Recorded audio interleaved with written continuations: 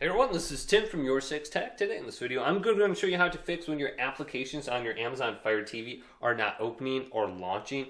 So the first thing you want to go ahead and try is go on over to settings right here, select this, and then go on down to where it says applications. Then go down to manage installed applications and find the application you're having a problem with. So let's scroll on down.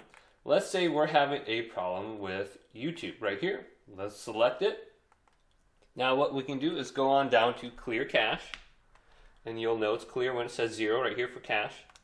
Then you can go to force stop, and then simply relaunch the application. And most of the time when I go ahead and do this, it actually fixes the problem. Otherwise, you can simply uninstall the application, then go on back to this screen right here, go on down to find, go to App Store, and then you can find the application real quick under App Library and then you can go to where it says not installed right here, and the app should show up on the top left. So here's like the TDS app I deleted, and it showed up right here, so I can easily get this back onto my Fire Stick.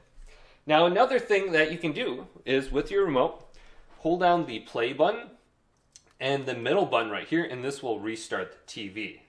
So let's hold both these down, and it will simply restart the TV.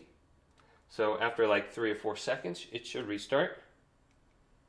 So my TV is powering off, and that is another way that you could fix your apps not launching. As soon as this starts up, start up the application, you should be good to go. But hopefully this video did indeed help you out. If it did, leave it a big thumbs up and subscribe to my channel down below for more tech up videos coming up next on Your Six Tech.